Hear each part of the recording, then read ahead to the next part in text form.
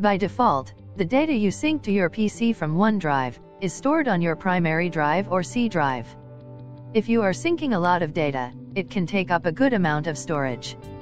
It can become a problem if you have a laptop with 128 or 256 GB SSD. Luckily, you can move your OneDrive folder and store your files in another location or drive. In this video, let's see how to do that.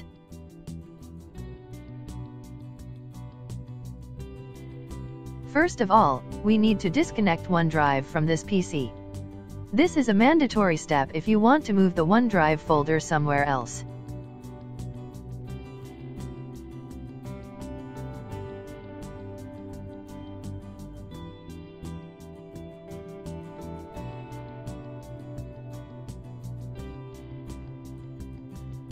The next step is to move your OneDrive folder from its default location to the one where you want it to be.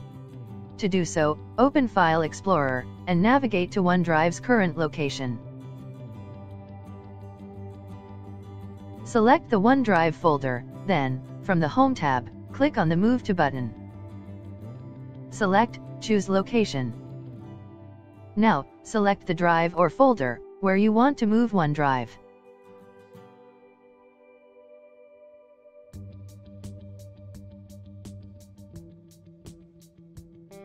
After Windows 10 finishes moving your OneDrive folder, you can close File Explorer. Back to the OneDrive login window, enter your Microsoft account credentials.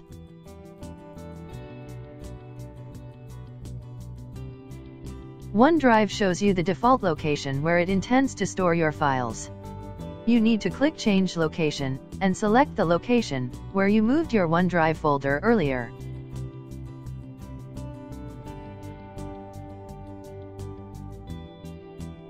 You have to confirm that change.